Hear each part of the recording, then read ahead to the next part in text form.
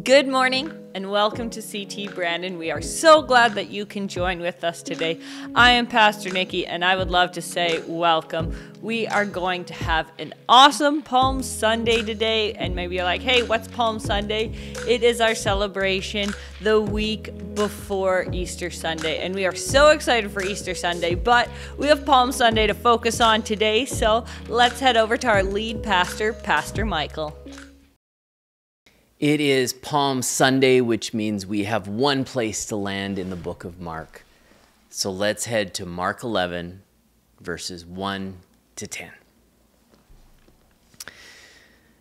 As they approached Jerusalem and came to Bethphage and Bethany at the Mount of Olives, Jesus sent two of his disciples, saying to them, Go to the village ahead of you, and just as you enter it, you will find a colt tied there which no one has ever ridden. Untie it and bring it here.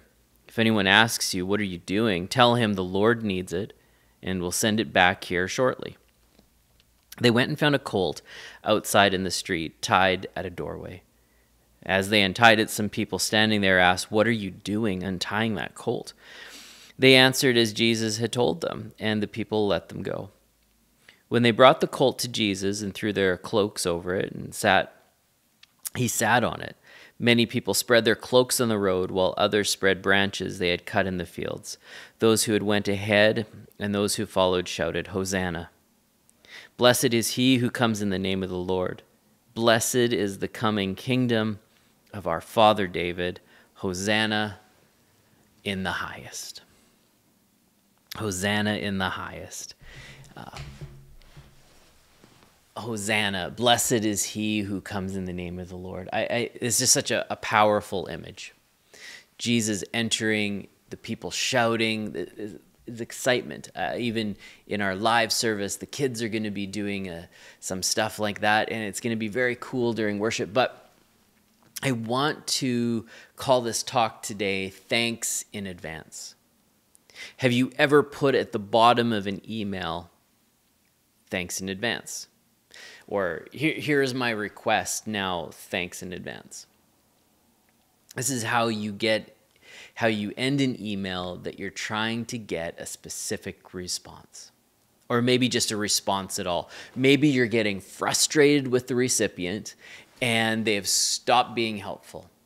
Thanks in advance. Now hold on to that thought. This is important for today if you have been around church for more than five minutes, you know that there are some very symbolic pieces that we throw around very casually during the Easter season. I want to take a, time, a little bit deeper of a look, deeper than your normal Sunday school answer at a couple of these pieces. Now, first of all, do you see how critical mass is growing? The crowd. Merriam Webster defines critical mass as a size, a number, or an amount large enough to produce a particular result. In this case, critical mass would be having enough people outside and on side with Jesus, with him being the king. The odds would be in their favor. Critical mass was built. And to accomplish an insurrection, it would be absolutely necessary. Now, don't forget we talked about Barabbas last week, that the that insurrection that was hot on everybody's minds. They wanted to take their Jerusalem back, to clean it of the Romans and live the way they had always imagined. Secondly, they are all gathered in the right place. Jerusalem is a world class city in the ancient, ancient Near East. It was pretty fancy. They had aqueducts, for instance, that ran into the middle of the city with mineral water. So they had these mineral pools, kind of like temple gardens in Moose Jaw, but just for everyone to use at their leisure. It also had the Grand Temple. This was the jewel in the crown of the Jews and the Romans. And we'll talk more about that in a couple of moments. But thirdly, it was Jewish feast time, the feast of Passover, a time of celebration. What would be better than celebrating the new king of the Jews? And just like in times of old, as King Jehu was anointed king of Israel, cloaks were spread out and people shouted, and Jehu was king. Fourth, Hosanna translated save now. There is no disguising what they are after. The critical mass has assembled in the right place at the right time, chanting the right things. Now, all this behavior is screaming and displaying one phrase to Jesus, one phrase that is summed up on everything else that they are doing, and that is thanks in advance. Now, let's get to work. This thanks in advance comes at the same time as a giant shift in Jesus' story. Remember, baptism shifted for him, transfiguration shifted. And what we're watching happen in Jesus' story now is that he moves from a healer preacher to a seer and authoritative teacher. One commentator put it like this sower of the word to owner of the vineyard. Now let's read the last verse in this section of Mark. I think it helps put some perspective on how Jesus responds to their thanks in advance request. Jesus entered Jerusalem and went to the temple. He looked around at everything, but since it was already late, he went out to Bethany with the twelve. He left. Jesus walks into the temple and he looks around. Okay, so the temple. This is the second temple, which is built on the exact same site as Solomon's great temple. But it was rebuilt about 600 years before this piece of the story by those who were returning from exile. This temple was a key piece of Jewish identity especially in the Roman occupied Jerusalem. But even the temple wasn't safe from the Roman versus Jewish culture wars. It was renovated by Herod just before this time. He Romanized it.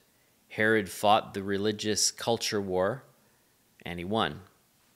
So, for Jesus to come into the temple as his first action in Jerusalem and look around, it is really important because this is what's happening prophetically. What was God's statement on earth, the temple? What is God's statement on earth, Jesus? And what will be God's statement on earth, which is the kingdom of God, together? What was meets what is and stands in the presence of what will be. But there is also that one line at the end of the sentence. He looked around at everything, but since it was already late, he went out to Bethany with the twelve. Remember, the journey to Jerusalem began at the top of populated Israel with the Mount of Transfiguration, and we are finally at the place of Jesus' arrival. He looks around but decided to keep going instead. Where is the grand gesture of kingship? The, the, the show of force? Where, where is the fight? Where is the insurrection? Save now was being chanted as he entered. The crowd already declared Jesus king. It was his for the taking. He looks around and walks away. He goes another two miles. That is more determined than just thinking about it. He thought about it and he walked away. That's more than a maybe, that is a no. How often do we think God does that in our lives? Follow me.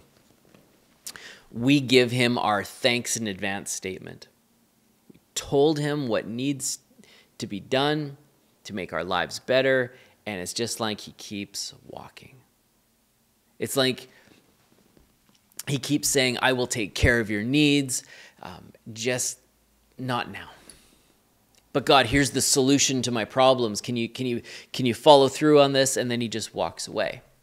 We even tell him exactly who to curse, who to smite, who to destroy, who to bless, and all that stuff in our prayers. For whatever reason, he just keeps walking. Remember, Jesus shifted with this story. He went from healer preacher to the owner of the vineyard. He isn't about to be told what to do. Whatever they thought is no longer relevant. Here is why Jesus is like no other. Because Jesus didn't care about the religious battle for supremacy. Jesus didn't care about the political battle. Jesus didn't care about the culture war that was being fought constantly. Those weren't the fight that Jesus was preparing for. He came to fight death, not Rome. The Apostle Paul wrote that we don't wrestle against flesh and blood, but against principalities, against powers, against the rulers of the darkness of the world, against spiritual wickedness in high places.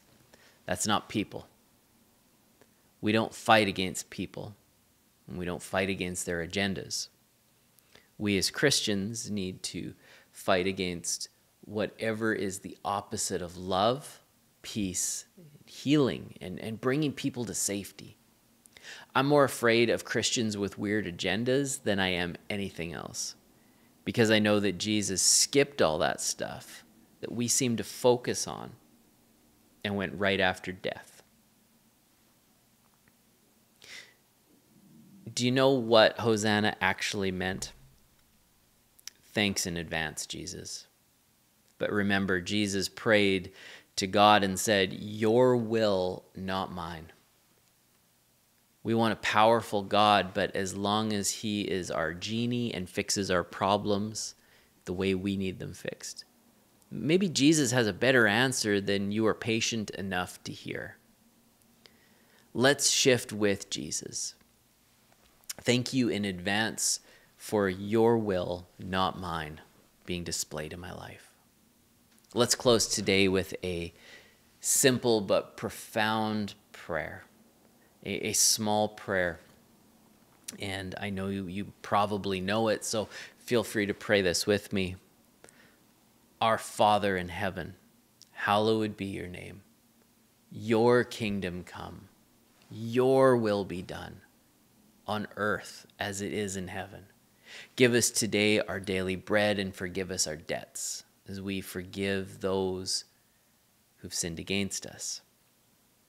Lead us not into temptation, but deliver us from the evil one.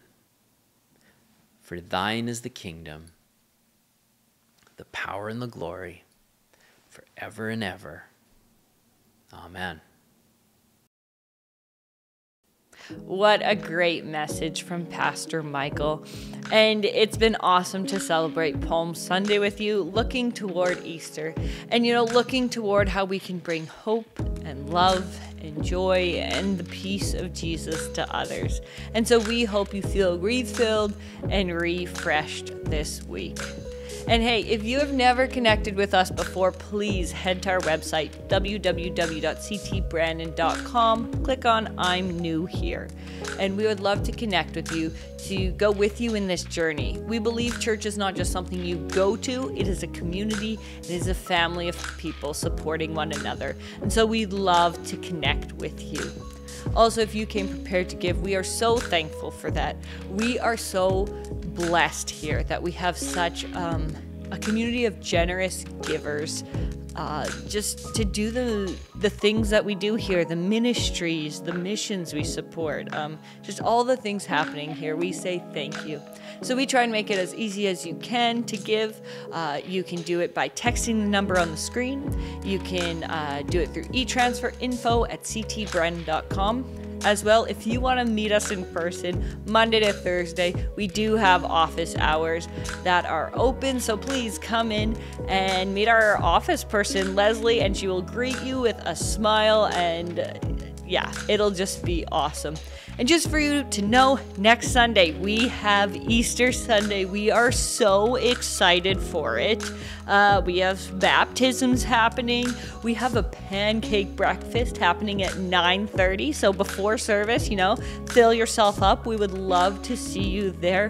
We are so excited. Easter is such a celebration here, so we would love to see you next week 9.30 we'll be eating pancakes and they're gonna be delicious don't worry i am not the one doing the cooking um, and then also we have a general meeting an annual general meeting coming up on april 23rd and that will be following service and as well, there's a potluck that day. Don't you love, you know, food and church always go so well together. So there's a potluck happening that day. And and we're asking you to bring something that reminds you of home. Whatever that means for you. For me, it might be hot dogs and Kraft Dinner. I haven't, you know, confirmed that yet, but bring something from home, and we are going to be having our annual general meeting. So that is awesome. There are so many other things happening at the church, though, so please um, connect with us on Instagram, on Facebook. Uh, if you connect with us through email, that's another great way to just know what's going on here at CT Brandon. And again, we hope that you have an amazing week, that that you feel the love of Jesus, and that you can continue to share it with others. And we can't wait to see you again next week.